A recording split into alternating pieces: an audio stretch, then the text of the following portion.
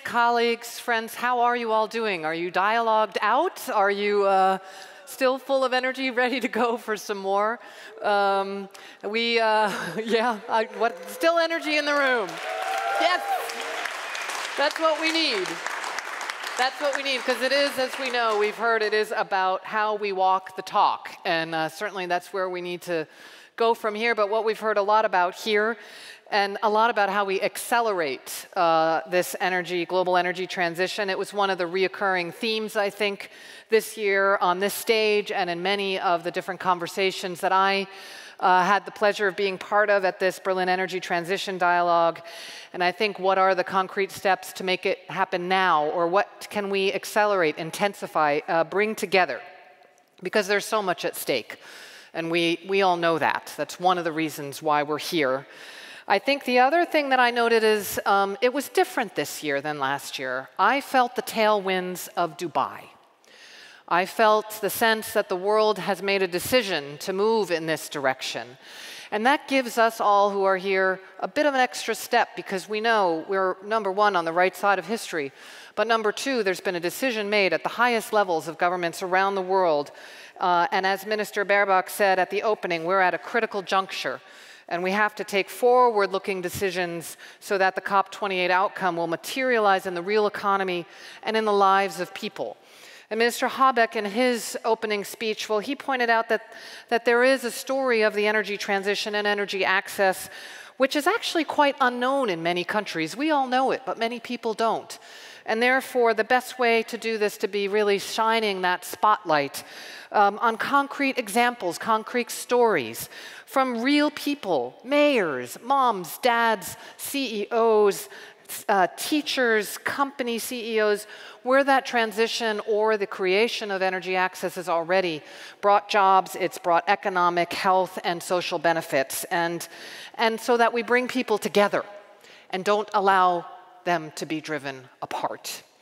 And we heard um, Minister Alweendo during the opening speech about how um, um, Namibian build, is building one of the world's largest hydrogen project, production facilities and how that's going to bring real local value creation and how we need to do that differently too now.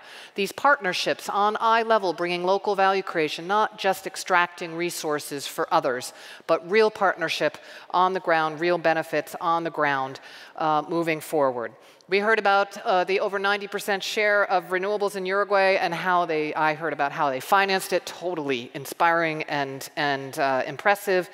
The impressive increase from 75 to 180 gigawatt renewables in India for the past 10 years, aiming for that 500 gigawatt by 2030, and how that's changing the lives of people on the ground. And we heard being here in Germany about how wind power has overtaken coal as the most important source for electricity, the share of renewable energies reaching an all-time high of 56% last year, the creation of 380,000 new jobs, better energy security, declining energy prices. But we know all together in this room we're not moving fast enough and we're not in enough countries moving at, uh, uh, adequately enough in an inclusive manner. This is indeed, as Minister Habeck said, a task of historic proportions. And he called it the task of our political generation, and I couldn't agree with him more. Energy security and access to clean energy, well, ultimately, it's about economic freedom and human dignity. As Nyadarka Majodi said at the opening panel as well, we know that 600 million people in Africa are without access to electricity, four out of 10 Africans. And so here is where we know that the transition means transitioning from no energy to clean energy. Tremendous untapped potential there. Uh, but in order to tap into it, well, we need to uh, increase investments fivefold in Africa by 2030. So renewables, well, worldwide enabler for access, for economic development, for social empowerment, for new trade opportunities. And I think that's why in many countries we see that renewables, well, it's not, uh, and this clean tech, it's not just something that is about the climate crisis. It's actually about creating a good life for people uh, and for uh, around the world.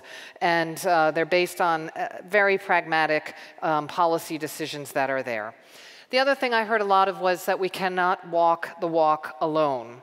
And therefore, untapping potential in developing and low income countries requires really our joint effort. This is a joint collective effort that we are underway together along the entire supply chain of the energy transition from power generation to transition, transmission to distribution, possibly to export. We need radical collaboration. And that was why this BETD, I think, was so crucial to break down those silos um, out of our way of thinking and to truly work together to join forces across business, uh, politics, think tanks, NGOs, financial institutions, because we know we need those many ingredients um, to get us moving forward, along with that mindset shift on how renewables can deliver for homes, for factories, and for cities. So we need to move beyond uh, that piecemeal approach to get those, um, uh, beyond those uh, bottlenecks and those barriers. Um, colleagues and friends, before closing, I just wanted to ask the, the people who made this happen um, from the Economics and Climate Action Ministry, from the Foreign Ministry, from all of our partners, if you would just raise your hand or stand up, because I think you deserve a big round of applause. If I may just do something unconventional and just everybody.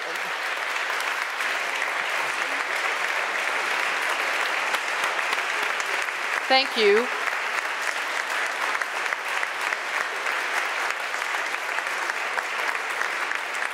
You are all amazing, amazing for all the hours you gave and all the people. I hope you can feel the energy that you gave to others uh, and what you made happen here. So, two requests from me before we close. The first is um, if I would request that when you leave, you connect differently with maybe somebody that you hadn't connected with before after having been here in an outcome oriented way. Um, so if you're a policymaker, then pick up the phone and call your local banker. If you're, a, if you're an NGO, then maybe talk to the private sector person that you're trying to make something happen on the ground. So do that a bit differently. And the second thing is to really think now, what am I going to do differently now having been here? I know we all go to so many conferences. This one, I have the sense the energy in this, this BETD is phenomenal. What's the one thing you're going to do differently when you leave here? Um, and to bring back home, share with your, your colleagues and your friends. And um, so that when next year comes, and now is the magic switching of the sign, um, uh, we know we come back together and we learn um, because we also have to accelerate our learning here. So I want to, um, at this moment, officially close uh, this uh, BETD.